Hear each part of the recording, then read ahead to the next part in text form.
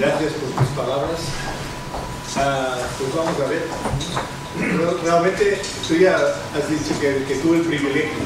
Realmente considero un privilegio haber conocido a Lorenzo Milán y haber estado en la escuela barriana así en pleno funcionamiento. Yo era entonces era estudiante de los escolapios de Roma. Ah, ah es el micro. Es que no conocía la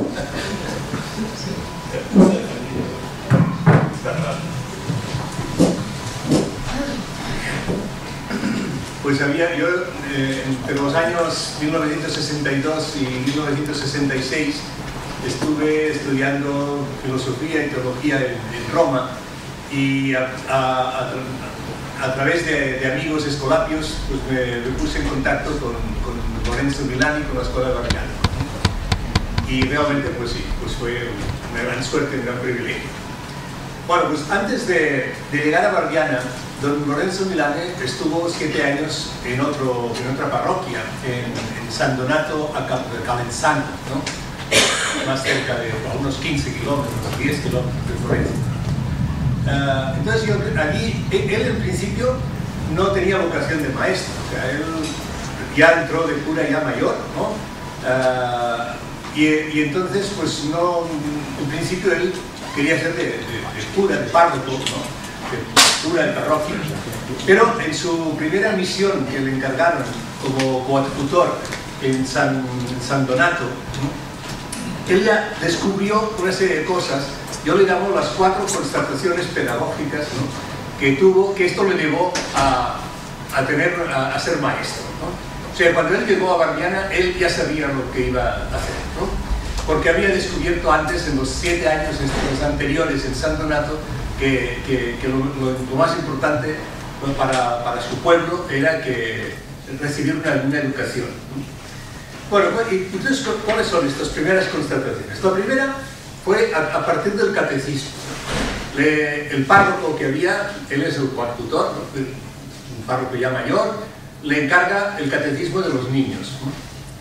Y bueno, y se da cuenta de que, que, se pierde el tiempo con esto, ¿no? porque los niños repiten así eh, una serie de, de fórmulas que no entienden muchas de las palabras no, saben su significado, pero las repiten, las memorizan. Entonces se da cuenta que esto no, tiene ninguna importancia, que, que, no, que, dominan el lenguaje. ¿no? O sea, la primera constatación es que aquellos niños no dominan el lenguaje, no saben usar la lengua, porque no saben el significado de las palabras y no saben eh, expresarse para, para, cambiar las cosas a través de la, del lenguaje. ¿no? Y todo esto es la primera constatación. Estos niños necesitan muchas, en lugar de catecismo, aquí necesitan clases de italiano, ¿no? Eh, para, que, para que sepan hablar, eh, leer, escribir, ¿no? Esta es la primera constatación. La segunda constatación es eh, que, que, hay en, su pueblo, descubre una serie de incoherencias. ¿no? Por ejemplo, pues van a misa los domingos, me refiero a los mayores, jóvenes, no sé si iban, pero bueno, eh, van a misa, pero después mm, aquello no les sirve de nada, es un ritual que incluso algunos durante el, sermón, algunos hombres salen a fumar eh, afuera de la... Bueno, y, cosas, celebran grandes fiestas, mm, procesiones, pero no les lleva a, nada. ¿eh? Entonces ahí él descubre una incoherencia, que también es una falta de educación. Tercera constatación, la pérdida de tiempo. O sea, él ve como gente que son gente pobre y gente pues, que, que, de pocos recursos, que eh, ocupan mucho tiempo en banalidades, ¿no?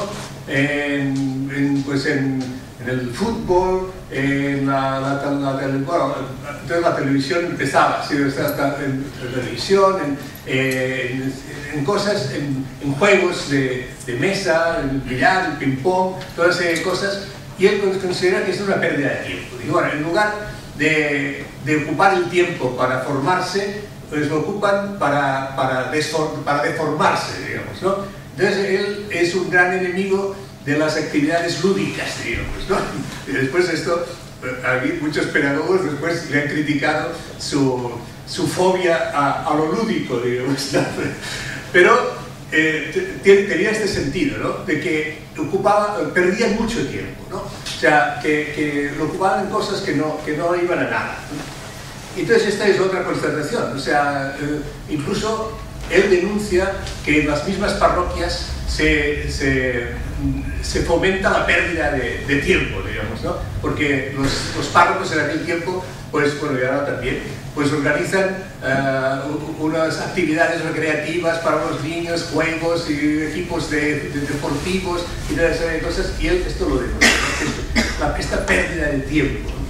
Y la cuarta constatación es la, falta de formación política. ¿no? O sea, eh, cuando se presenta un periodo electoral, ¿no? Ningún partido eh, fomenta la educación política. De, lo que quieren es eh, ganar votos, ¿no? pero no, no, no, no, una educación política del pueblo. ¿no? Y él critica igual al Partido Comunista que a la democracia cristiana, que eran los dos grandes partidos del momento. ¿no? Eh, hace una crítica muy dura de, de los partidos políticos por, por, esta falta de compromiso en la educación política. ¿no? Eh, entonces, pues, por ejemplo, se daba el caso de que los obispos, antes, en las campañas electorales, hacían unas, unas, pastorales diciendo que se tenía que votar por la democracia cristiana, había una propaganda directa, ¿no? Y, y, y, entonces, y sobre todo eh, con, con las mujeres de, de, las parroquias se hacía una gran campaña de que, convencieran a sus maridos para que votaran para la democracia cristiana. Esto había, bueno, él todo esto lo critica duramente, ¿no? Y dice que, que, la democracia cristiana decía, no, llevan al escudo la, la, cruz de San Jorge, ¿no? O sea, y de, llevan una cruz, pero dice, no tiene nada de cristianos, ¿no? Y, y, y entonces, pues, esta, esta falta de formación política le, le, le lleva a, a hacer una, una, educación política. ¿no? Entonces ya con estas cuatro constataciones, él ya al cabo de un año de estar en San Donato, ya se da cuenta que lo único importante que puede hacer en la vida es ser maestro y crear una escuela que, que, que dé la palabra a los alumnos, ¿no? el dominio de la palabra, una escuela que, que, no pierda, que, sea coherente, ¿no? que, que eduque para la coherencia, para la racionalidad, ¿no? una escuela que no pierda el tiempo en banalidades y una escuela que eduque políticamente. Entonces con esto él crea una escuela que es la Escuela Popular de San Donato, que era una escuela a la cual iban uh, jóvenes pero que ya trabajaban en las fábricas. Aquí era zona de San Donato, Prato, esto es una zona donde, no sé si ahora, pero en aquel tiempo había muchas fábricas uh, textiles, ¿no? Y entonces uh, trabajaban, los jóvenes de, de, 14, 15 años trabajaban en estas fábricas ya. ¿no? Y entonces cuando terminaban el trabajo de la fábrica, Dominani nos invitaba a ir a la escuela, a la escuela popular. Era, venía a ser una escuela de adultos, pero sobre, sobre todo eran jóvenes, ¿eh? jóvenes entre 14 y 20 años, más o menos, algunos más. ¿no? Estos eran, fueron sus primeros alumnos. Muchos de ellos todavía viven y, y todavía dan guerra, y, da, y, da, y dan, he conocido varios y todavía participan en algunas reuniones así de milanianas que se hacen y les ha quedado esta, esta herencia que recibieron ya allá desde Milani en San Donato. ¿no? Esto era la escuela de adultos de San Donato. Bueno, esto se, se fue desarrollando durante unos siete años, estuvo allá, ¿no? seis años de escuela, y entonces uh, empieza a tener problemas tanto a nivel político con los dirigentes políticos como a nivel eclesiástico con los dirigentes uh, de la iglesia. ¿no? Eh, empieza a ser considerado un cura molesto. ¿no? Y eh, le llueven al cardenal, le llueven las denuncias.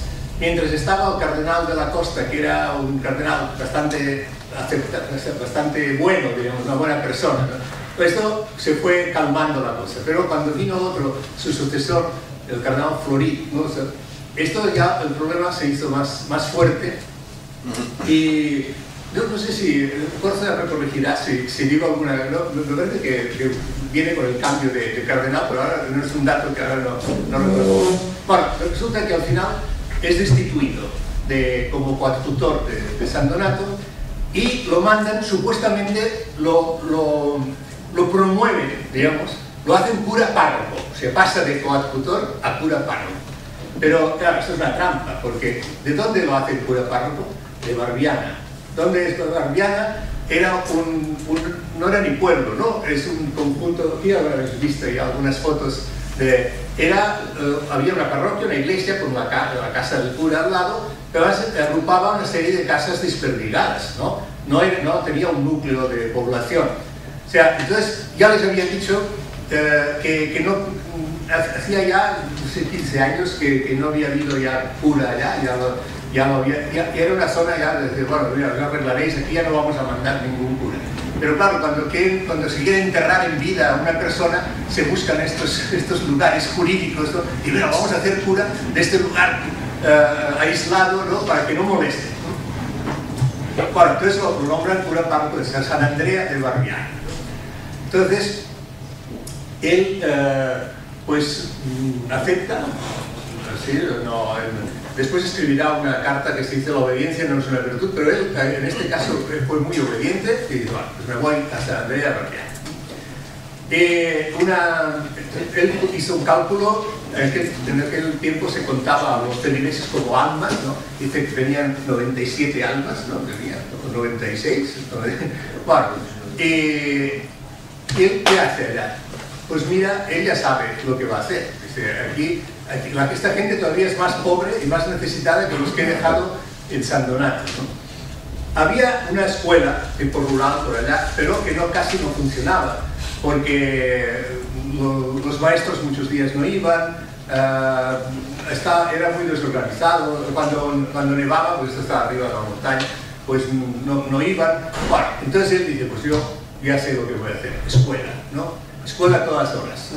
Entonces convoca a, los jóvenes, bueno, niños y esto de, de edad escolar, y él organiza la escuela allá en la casa mm, del cura, ¿no? Eh, pues allá organiza la escuela. O sea, pocos se pensaban que uh, aislándolo de esta forma, Barbiana iba a ser un nombre conocido internacionalmente, ¿no? porque eh, eh, fue eso, ¿no? Bueno, pues él empezó muy modestamente, o sea, durante muchos años no se, no se conocía el nombre o sea, la, experiencia de lo conocían eh, algunos mm, cristianos progresistas de, la zona de Florencia, todo esto lo conocían, pero no, se llegó a conocer allá mm, de una manera ya nacional e internacional cuando eh, se publicó la carta a los curas castrenses. Pero esto es otro capítulo que, del cual no vamos a hablar, seguramente que saldrá en, algunos, en algún momento de estas jornadas. Entonces cuando eh, esta carta que escriben los, los, alumnos de Barbiana a los curas eh, militares, los curas castrenses, pues esto sí que aquí se da, aparece en el periódico Rinascita, que era el Partido Comunista, otros periódicos no se previeron a publicarlo. ¿eh? Y entonces ya se habla de Barbiana ¿no? como una experiencia educativa, como una alternativa, todo esto, ¿no? pero hasta entonces, pues nada, nada, nada. ¿no? Bueno, entonces, em, esta, eh, la, escuela de Barriana funcionaba, eh, aquí habéis visto fotografías, que era, eh, era una escuela que a pleno tiempo, ¿no? O sea, él decía, tenemos 365 días de escuela al año. En los años bisiestos 366, ¿no? precisado. los domingos hacía escuela igual. Él se daba a misa y la misa pues era voluntaria, iba lo que quería, pero uh, él en, los, los, sermones, él decía, uh, cuando tenía algo que decir, podía, el sermón podía durar media hora o más. Y cuando no tenía nada que decir, pues no hacía sermón, ¿no? Para decir banalidades, pues no tengo nada que decir, seguimos, ¿no? Ah, pero aparte de la misa, en los domingos sí, sí comentaba con los alumnos el Evangelio, ¿no? porque eh, él consideraba eh, que el Evangelio era un libro importante para la historia de la humanidad.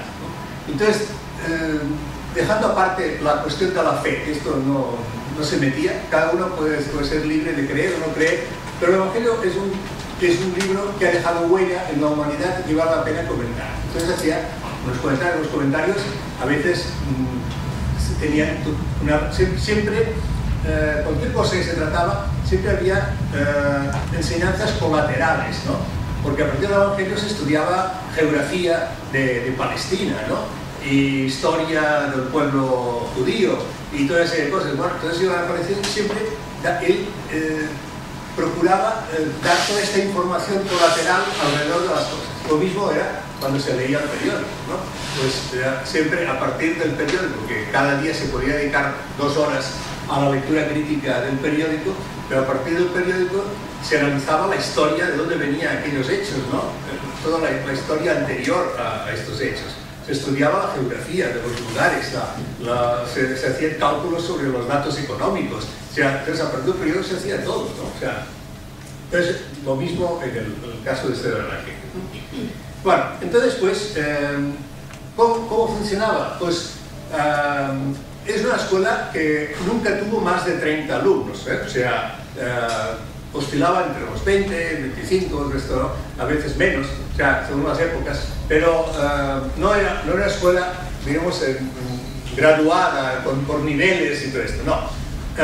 Muchas actividades se hacían todos juntos, tanto porque había desde niños de, de 6, 7 años hasta 13, 14, ¿no? Entonces, había algunas actividades que se hacían juntos, como la lectura del periódico, la lectura de las cartas, que gente que les escribía cartas, o después los alumnos mayores cuando salían a, eh, trabajar fuera, entonces escribían cartas de los lugares donde, donde, iban, las experiencias que tenían.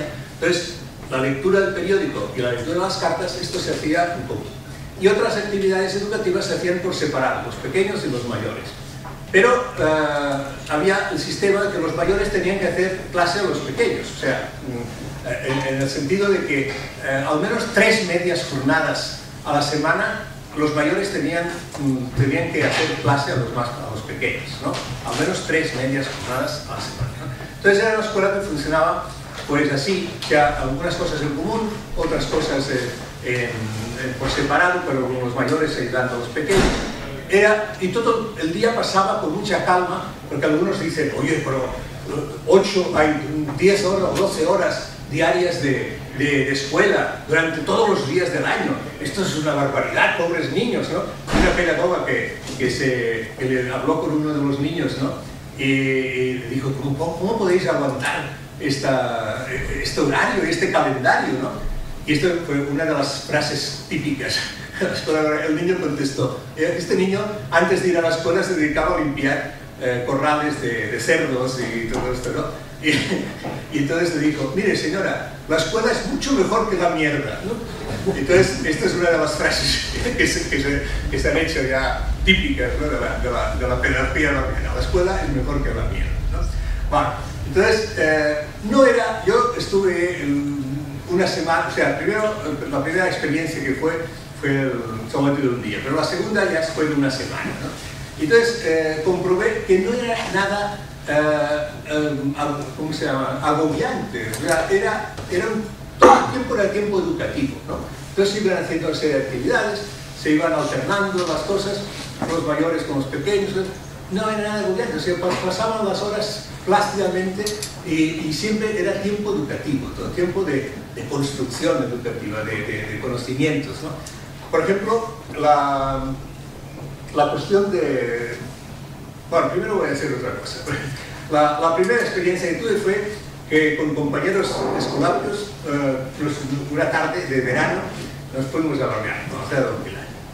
Entonces, ellos, aquí se ve, en alguna de las fotos se ve una, una glorieta en, verano, se hacían las clases al exterior, una, una glorieta muy bonita, ¿no? Eh, fresca allá, ¿no? Y, estaban todos reunidos allá, no sé si veían el periódico. Los visitantes, siempre que iba un visitante, el visitante nunca iba en particular a hablar con Don Milán, o sea, un visitante tenía que entrar en la dinámica de la escuela, era, era un era material educativo, ¿no? una visita era material educativo. Entonces, el visitante tenía que entrar y aceptar las reglas del juego de, la escuela, ¿no? Bueno, pues llegamos allá, eh, unos, pues éramos eh, estudiantes de, cura, ¿no? Seminaristas de, los escolapios. Íbamos con sotana y todo, que aquel tiempo, ¿no? Bueno, eh, entonces llegamos allá y, no, ¿qué es? Vale, pasad, pasad, sentados por aquí. ¿qué, qué sois, brother? Pues mira, somos unos estudiantes españoles. ¿Españoles? Franco es una mierda. Ya, entonces, eh, lo primero, él, él, era muy, muy dialéctico en esas cosas, a veces provocaba, para, después provocar toda una... A, partir de esto, estuvimos dos horas hablando de Franco ¿no? y de España. ¿no? Entonces, eh, a partir de esto, entonces vienen las, las, preguntas, las respuestas, y los niños no eran nada, no eran educaditos como estamos acostumbrados, no, no, no. Los niños te pegaban fuerte, ¿no? Y hacían preguntas muy impactantes y, y, y, a veces pare, podían parecer mal educados en el sentido que nosotros damos a esta palabra. ¿no? Entonces eh, estuvimos pues dos horas allá, pues, hablando de esto. ¿no? O sea, era, esto era uno de los sistemas que tenía de aprovechar las visitas para provocar una, una discusión y entonces los niños iban y uno tenía que, que, demostrar que sabía algo, porque si no sabía nada, se iba a montaña abajo. Usted, no nos ha venido, no, no, no, tiene nada interesante decir, pues váyase, ¿no? Sí, una vez una, una campeona olímpica de natación llegó allá y dijo, oh, es lo más importante. Digo, oye, esta barbaridad no la aguanto, váyase.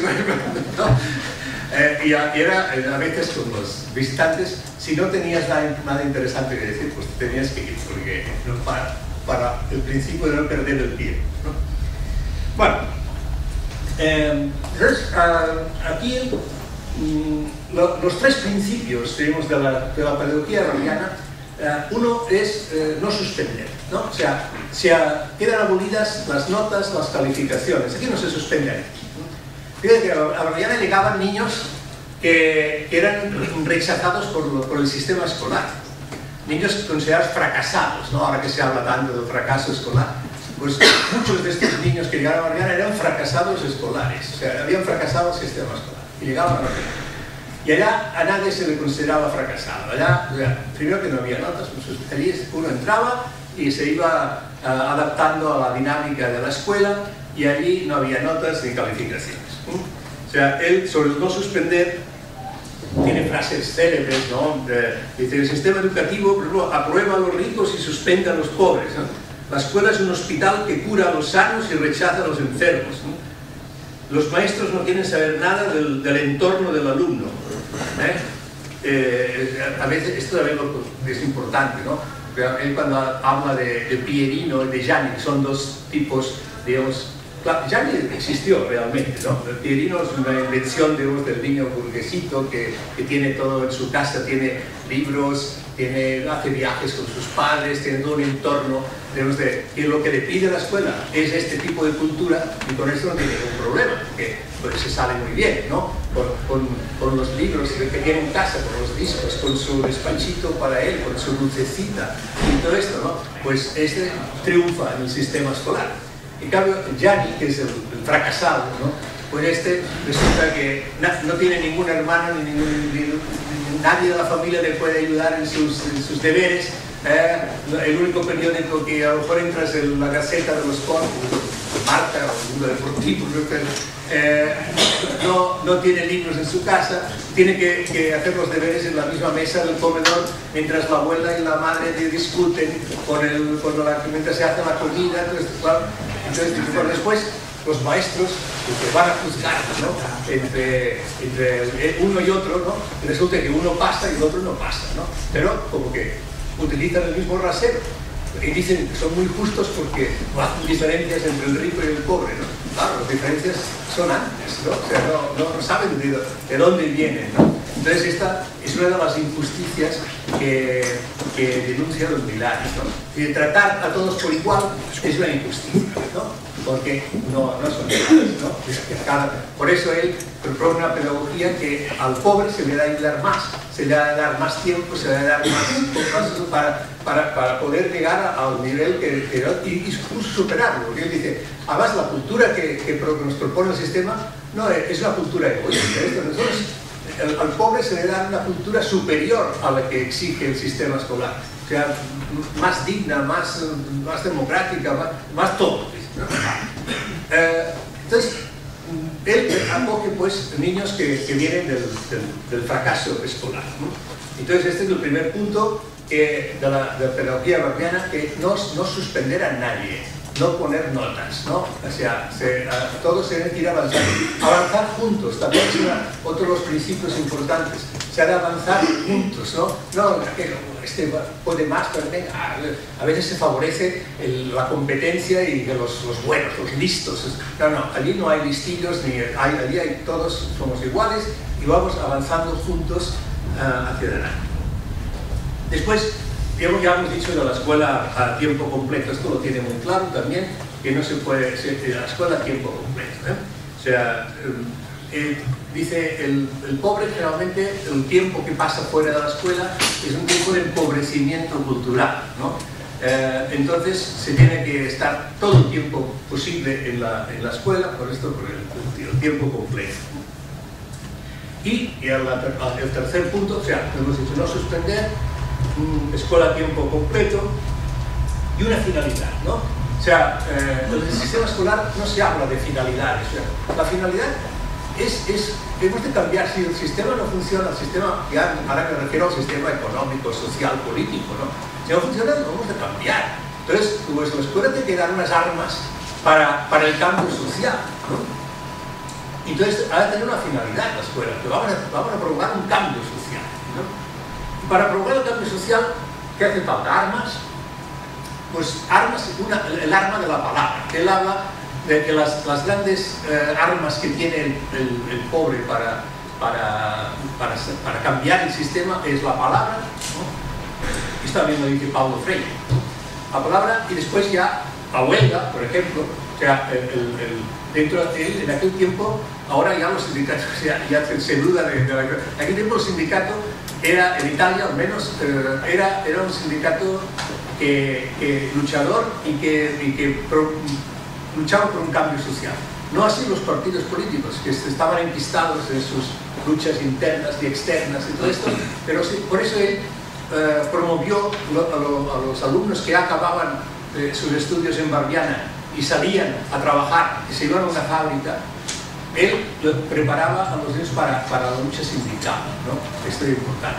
Porque en Pamplona uno de los textos que se utilizaban no eran los textos, los textos que proponía el currículum oficial, ¿no? que a veces eran textos de, mitología griega, y, no. Allí se estudiaban contratos de el contrato de los metalúrgicos. A ver, vamos a estudiar el contrato de los metalúrgicos. ¿no? había ya una formación sindical para el cambio social, se preparaban los jóvenes para el cambio social. Bueno, y prueba de esto es que el primer eh, que, primero que salió, que fue Michele, que se fue a trabajar a una fábrica de que tenía 6.000 obreros, al cabo de medio año ya era el representante sindical de los 6.000 obreros de la, fábrica. ¿no? O sea, uh, entonces había, había, la formación sindical funcionaba. ¿no? Bueno, esto era la... Ahora, aquí uh, lo más importante era la formación de la ¿no? Esto yo creo que aquí Barbiana da, da de lleno en el meollo de la cuestión. Y es lo que continúa siendo muy válido actualmente, ¿no? La formación de una palabra, ¿no? Conocer las palabras y tener la palabra como arma de cambio social. Entonces, lo que hizo famoso Barbiana fueron las cartas que escribieron los, él con sus alumnos, ¿no? que fueron cartas que, de una gran trascendencia. ¿no? Eh, ¿Cómo salieron estas cartas? Pues, bueno, la primera fue pues aparece una nota aparentemente insignificante de los curas castrenses que, que, dicen que la objeción de conciencia es una, es una cosa vil y que va contra la patria y no sé cuántas cosas. Entonces esto, a partir de aquí, vamos a analizar, a ver por qué esto, el servicio militar, por qué eh, hacer una objeción a esto, por qué es una cosa, vamos a estudiarlo. Vamos a estudiar las guerras que, que ha sufrido Italia en los últimos 100 años Vamos a analizar el concepto de patria, ¿no? ¿Qué es la patria? Bueno, entonces de aquí sale una, se van haciendo las cartas. Supongo que ya en otro momento ya se hablará de los métodos concretos de cómo se escribían las cartas, pero hay, hay todos los métodos, ¿no? De, de, recoger las ideas, de ponerlas en orden, de... y esto aquí sin prisas, ¿eh? O sea, la redacción de una carta podría pasarse medio año perfectamente, o la carta de la maestra un año estudiando, ¿no? O sea, entonces eh, se van analizando las cosas, se va buscando, se va investigando, se, van, se ponen en común las cosas, se discute palabra por palabra y así va surgiendo el famoso texto colectivo. ¿no? O sea, es, es una de las grandes eh, aportaciones pedagógicas de la realidad, el texto colectivo. Y entonces esto, al final, sale una carta con un impacto, porque cada palabra tiene su peso. Y esta carta, a los curas castrenses, ¡pum!, aparece y, es, y, tiene una resonancia. Esto, esto, lleva a un juicio. El, el es, es eh, llamado a juicio por, por, delito, apología de, de delito, y, y, es juzgado. ¿no? Yo tuve la suerte también de estar en el juicio, se lo hizo en Roma, en el de Justicia de, Roma, se hizo el juicio y, fue muy emocionante, es uno de los momentos que recuerdo con más emoción de mi vida, el juicio de Don Reyes. Él no estuvo porque ya estaba muy enfermo, y, pero escribió una carta a los jueces esta es la, segunda parte de la Carta a los Jueces, es la Carta a los Jueces, que desarrolla todavía más los conceptos que ya ha desarrollado en la Carta a los curas castrenses. ¿no? Una carta muy emotiva, en la cual expone todo esto, el, hace un análisis histórico de las guerras, uh, analiza el concepto de patria, analiza el sentido de las leyes, si una ley se ha de obedecer o no se ha de obedecer. ¿no? Entonces, por eso eh, el, el conjunto de las dos cartas en la edición italiana ya recibe el nombre la obediencia, ya no es una virtud, ¿no? Bueno, eh, esto tenemos traducido al castellano, aquí está el, el, traductor y el promotor que es más importante de España, de Don Lorenzo Milán, está aquí, pues Luis Corzo, ¿no? ha sido un traductor de muchas de sus obras, ha hecho su tesis doctoral sobre uh, Lorenzo Milani, entonces Uh, estas cartas son una maravilla. ¿no? Estas cartas son cartas colectivas, es, es, una muestra del texto colectivo. Y finalmente viene la, la, última de las obras, la carta a la maestra, ¿no? que, que, es todo, que, que, se basa a partir del, del fracaso escolar, ¿no? a, a, partir de, de, de este Gianni que aparece como, como rechazado por la escuela. Entonces hay una defensa del fracasado escolar entonces pone el tema de juicio todo el sistema escolar italiano. O sea, esta la carta maestra es un, desmontaje de todas las, las, bueno, todos los entresijos ¿no? del sistema escolar, cómo el sistema escolar eh, favorece a unos, desprecia a los otros, a los más débiles. Y bueno, esto es otra maravilla pedagógica, ¿no? la carta maestra. Pues estos son textos colectivos que se han hecho con la, con la, con, con la palabra, ¿no? con la comunicación para la palabra. Bueno, después, eh, eh, unido a, a, esto la palabra, está todo el análisis crítico de la historia. ¿no? O sea, eh, estas cartas a los curas castrenses y a los, y a los jueces, pues hacen un análisis histórico, sobre todo las guerras que ha sufrido Italia, y se ve que, que, que nadie sabía por qué iban a luchar, ¿no? O sea, que la única guerra eh, justa podía ser la resistencia contra los nazis y esta lo hicieron los objetores de conciencia, ¿no? resistencia, los que no quisieron ir a, al servicio militar y a luchar a favor de los nazis. ¿no? Entonces, hace todo ese análisis crítico y esto es importante también la, la historia, que se hace la historia se hace a partir del periódico. O sea, que hay siempre. Eh, la, el periódico es la historia del día anterior. Vamos a ver, llega el periódico. Vamos a ver qué, qué, qué, qué, ha pasado, qué pasó ayer. ¿no? Aquí tenemos la historia. ¿eh? Ahora con, con, internet tendríamos todavía la historia de hoy, ¿no? Pero bueno, eh, allí todavía era la historia de ayer. Eh, entonces, a partir de, de, esta historia, de este pedazo de historia que era la, el periódico, pues se hacía más historia, pues se iba hacia atrás. La historia se estudiaba al revés, no como nosotros, bueno, muchos de los de aquí presentes seguramente empezamos a estudiar historia con, con los celtas y los iberos y todo esto, y los, los fenicios, los cartagineses y los romanos, y cuando llegaba algo más interesante, era el, siglo XX, ya se acababa el curso y ya no, ya no se estudiaba. ¿no? Bueno, entonces, uh, allí se hace la historia a partir de lo que pasa ahora, ¿no? Entonces, viendo de dónde vienen las cosas, ¿no? Haciendo la historia, estudiando la historia así al revés, ¿no? Entonces se ve cómo eran llamados a filas gente que no sabían dónde iban, cosas, bueno, estas cosas. La cuestión de la religión, ¿no? Él, eh, la escuela, él dice siempre que no es una escuela confesional. La escuela borgiana no es una escuela confesional.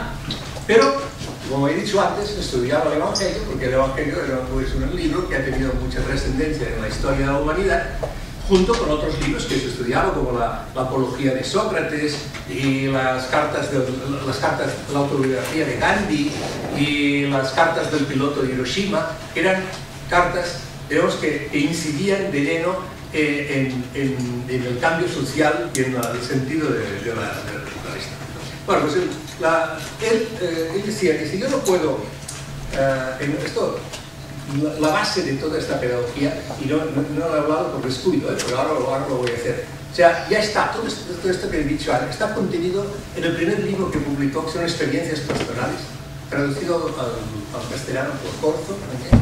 Uh, esto, en este libro ya, ya, aparece esto. Dice, hay, una frase que a mí me impresionó mucho, que viene a decir, dice, hasta ahora, lo que he yo eh, he lanzado palabras uh, indescifrables contra muros inexpugnables. ¿no? O sea, entonces dice, yo no puedo, uh, este no tiene ningún sentido hacer un sermón con palabras que la gente no entiende ni tiene ninguna trascendencia.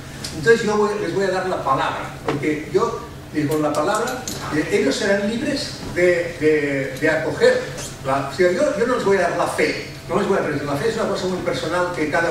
Pero yo lo que les voy a dar la palabra para que ellos se juzguen. Entonces, con, ya por el dominio de la palabra, ellos sabrán si aceptan o no aceptan el mensaje del Evangelio. Pero esto ya es cosa de ellos, no es cosa mía. Yo, yo lo que les puedo hacer, el servicio que les puedo hacer, es darles el dominio de la palabra, para que después ellos escojan. Entonces, este, él entendía la, formación religiosa en ese sentido. O sea, eh, eh, no, era, no, era, una catequesis, sino que era darles la palabra para que ellos con la palabra accedieran libremente a, la, religión. Bueno, la educación cívica ya, ya, ya, se ha dicho a lo largo de las cosas, ¿no? O sea, por ejemplo, se estudiaba la, Constitución, ¿no? Uh, la Constitución de la Carta Magna, ¿no? Los, nuestros deberes y derechos. Eh, entonces, incluso hay una anécdota eh, que dice que un niño que llegó a casa con la Constitución, ¿no? Y, su madre eh, se, pensaba que era un libro pornográfico, ¿no? O sea, como prostitución, sonaba prostitución o algo así, ¿no?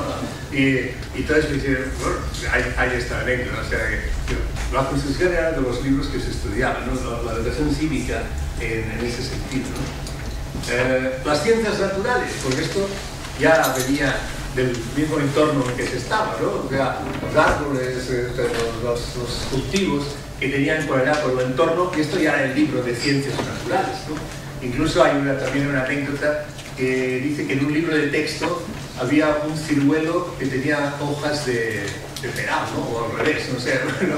y, y, el niño dice, no, esto, esto, no es un ciruelo, ¿eh? ¿Qué esto, no? Bueno, porque las, las, incoherencias de los libros de texto, ellos conocían ya muy bien lo que era un ciruelo, lo que era un peral, lo que era pues un pino y un, y otras actividades que se hacían, pues sí, miren, yo creo que en toda la pedagogía actual, en Barbiana se hacía de todo. ¿no?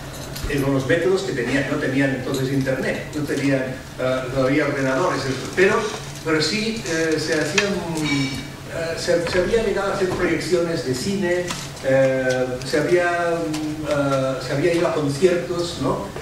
se había estudiado la música clásica incluso con las partituras,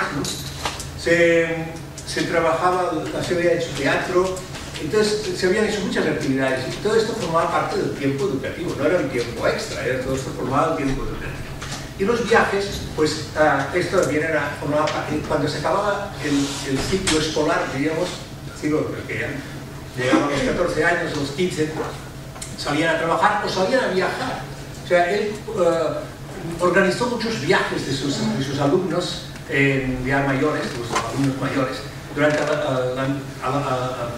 a, diversos países, Alemania, Inglaterra, a Francia, esto, y como que tenía una red de amigos, los colocaba de alguna forma, pero iban a trabajar, ¿no? se ganaban la vida pues lavando platos en un restaurante o algo así, y entonces vivían entre la gente más sencilla, más pobre, ¿eh?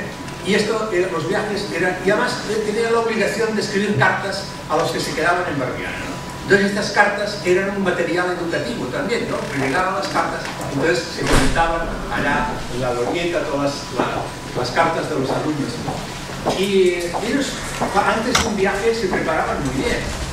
O sea, Francucho, es uno de los alumnos ilustres de, de eh, pues e-, este, eh, a sus 14 años, que se, se preparaba para ir a, a un país árabe, Argelia. Eh, y entonces pues empezó a estudiar árabe, empezó a estudiar árabe por su cuenta, con, con textos, con discos, no sé, como Luis Juan, estudió.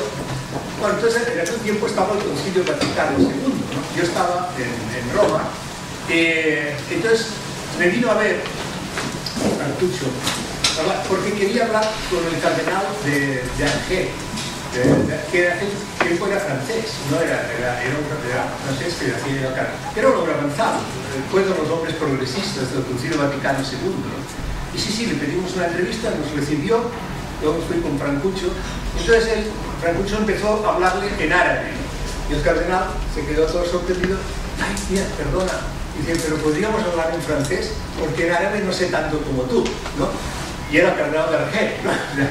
Entonces, bueno, estas son las anécdotas que me gusta pues, contar, pues, para ver cómo, preparaban un viaje, ¿no? porque él quería ir a Argel y empezó a estudiar árabe y lo aprendió muy bien para ir a Argel y saber árabe. ¿no? O sea, bueno, pues eh, así se preparaban los viajes.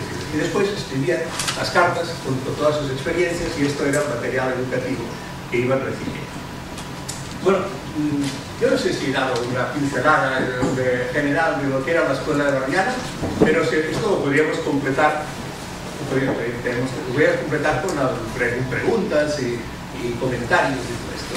Que, que, yo a lo mejor yo puedo hablar de otras cosas, pero pues me voy enrollando y quizá pues, a ustedes les interesa algún punto en concreto que podemos desarrollar más a fondo. Sé que ustedes tienen la palabra. La tomo no para preguntar, sino porque has pasado por un trozo de vida Sí. tuya, mía y de Milani Sí. que me ha emocionado, ¿no? Sí. El día que tú fuiste al, al juicio de Don Milani en el. Palacio de Justicia de Roma, yo estaba también en Roma, era compañero tuyo, llevamos la sotanica, y tú me dijiste, yo no voy a clase hoy a la universidad, vente conmigo, que voy al Palacio de Justicia que juzgan a un cura por defender a los objetores de conciencia. Era 1965 y esto era franquismo puro y en mi corazón había franquismo puro todo el de mi infancia y hasta los años que tenía en aquel momento. Así que ni me sonaba a mí lo de eh, la objeción de conciencia ni me sonaba nada. Y entonces yo dije, bueno, yo me voy a clase. Imbécil de mí, no fui, no fui contigo a ver el juicio, ¿no? Evidentemente, como has dicho muy bien, no, no le hubiera visto porque él no estuvo en el juicio, sino que tampoco se dejó defender por el abogado de oficio que le pusieron, que era un, gran abogado, muy conocido, sino que mandó la famosa carta a los jueces, que es un, una obra de arte. La, la carta a los jueces la leyó Eric Fromm, que estaba entonces en Alemania o en Sudáfrica, porque envió a Barbiana a la secretaria de Eric Fromm, que era una sudafricana blanca, a Barbiana para que le dejara entrevistar a Don Milani por Eric Fromm, ¿no? Hubiera sido un libro impresionante, lo consideraba el, último griego de este tiempo, ¿no? uno que creía en la dialéctica y creía en las leyes, y no se dejó. Bueno, y entonces eh, pues me perdí ese texto. Pero la pregunta entonces, sí que me sale, es, ¿leyeron la carta a la maestra entera en el juicio? ¿En dónde? En el juicio. No, en juicio no. Eh, eh, Todavía no estaba publicada. La carta maestra se Él, publicó. él la envió, ¿eh? No, no, publicada no No, estaba. la carta de los jueces, no No, la carta de los jueces la leyó el abogado Gatti allá en el juicio, sí. Eso, eso es lo que pregunto. La Sí, carta sí, de los sí, la se leyó, sí, perdón. Yo ha dicho antes, perdón, en, la, la- en el juicio, lo más emotivo del juicio fue la- escuchar la lectura de la carta a los jueces, Claro, la leyó claro. entera, sí, sí. Claro, sí. por eso he contado de Fromm, porque esa carta es verdaderamente un campo se leyó entera la carta a los jueces, sí, el Sí, sí, abogado este ya Gatti. Sí, sí, la carta a los jueces, sí. La carta maestra se publicó más tarde, ya el año que murió, ya unos- unos días antes de su muerte se publicó. ¿Preguntas?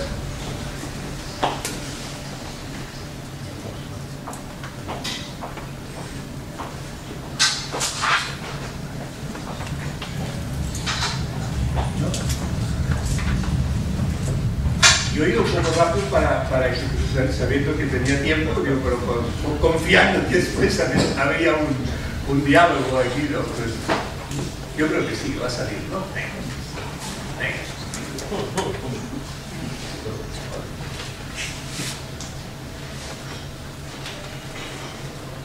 Bueno, la la eh, se publicó digamos, unos días antes de su muerte, eh, en 1967, pero se tradujo bastante rápidamente al francés.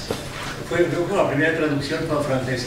Y en mayo de 1968, ustedes recuerdan que en mayo es en París, hubo la, famosa revolución del 68, era uno de los libros que se, que se leían en las barricadas de París, porque, porque era el símbolo de una nueva educación, de una nueva... ¿eh? Y yo entonces ya, ya estaba traduciendo al catalán, en aquel tiempo que salió un año después, en 1969 salió la traducción al catalán y, en los 70 supongo que salió la, la castellana. Y después la castellana salió una nueva edición eh, elaborada por los alumnos de la Escuela Santiago I de Salamanca. Pero aquí también los sitios, en, Barcelona, en aquel momento estaban las escuelas de verano, todavía estaban la, la, clandestinidad, las escuelas de verano, hasta, hasta que el 75 no empezaron a ser legal.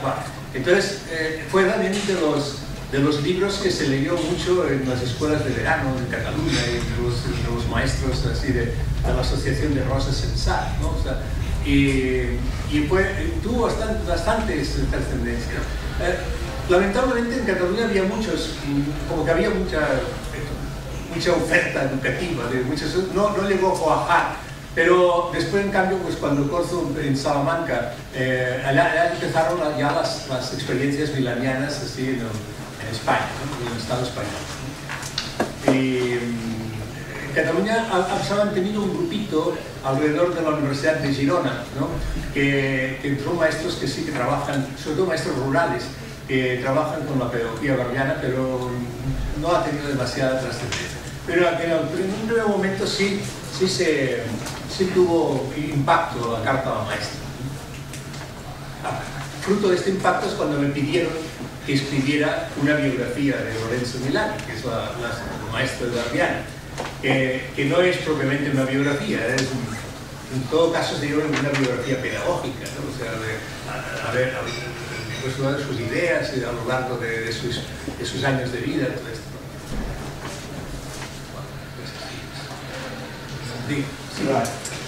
Sí, yo quiero preguntarte sobre la relación de Milani con sus alumnos. Aquí esto has citado que en México estuviste con Ilis, con, con Francesc Botet, pero en aquella época en México también estaba Alejandro García Durán, que, escribe Que, no depende de, de, alguien, depende de algo, ¿no? en el sentido de, la relación entre el educador y, los niños con los que él trabaja en concreto.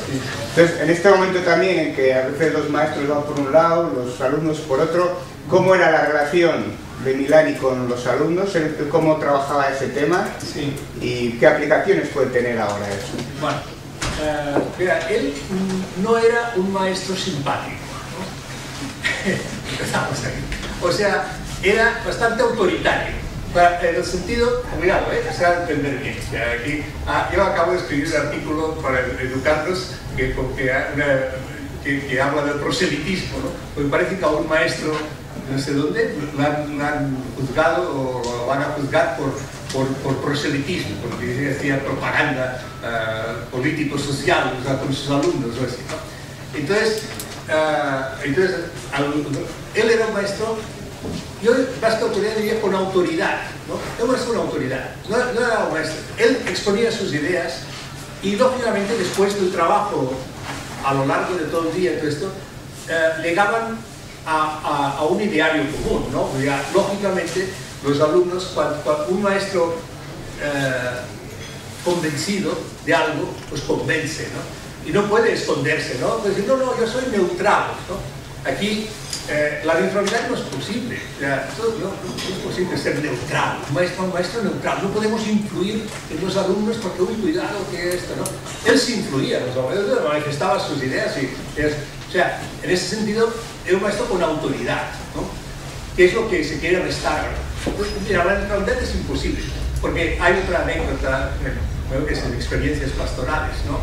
Que, que, dice que en el tiempo del fascismo había, hubo una reunión de curas y eran 30, parece, eran 30 curas, ¿no? Entonces el que coordinaba la reunión dijo, bueno, no, vamos a ser sinceros, el que sea fascista, que lo diga, ¿no? Porque estamos en el tiempo fascista, aquí tenemos que, aclarar las ideas. Entonces los curas empezaron a decir, no, no, yo soy neutral, yo no, yo no me meto en política, yo no, yo, yo no, no, no, uno ni el otro, no, todos, menos dos, dos dijeron que sí, que eran fascistas, sea, nosotros somos fascistas, estamos con el fascismo, de los 30, dos eran fascistas. Y los otros decían que eran neutrales. Entonces lo que coordinaba la reunión dijo, muy bien, uh, dice, dos fascistas, más 28 neutrales, total 30 fascistas. ¿no? Claro, ser neutral en el tiempo del fascismo, pues ser fascista, esto es fascista, ¿no? O sea, es lo que quiere el sistema, que seamos neutrales, ¿no? Para que, no, pues esto, esto es para ilustrar que, que la, la, neutralidad no es posible. Entonces, un maestro, pues forzosamente tiene que, que mostrar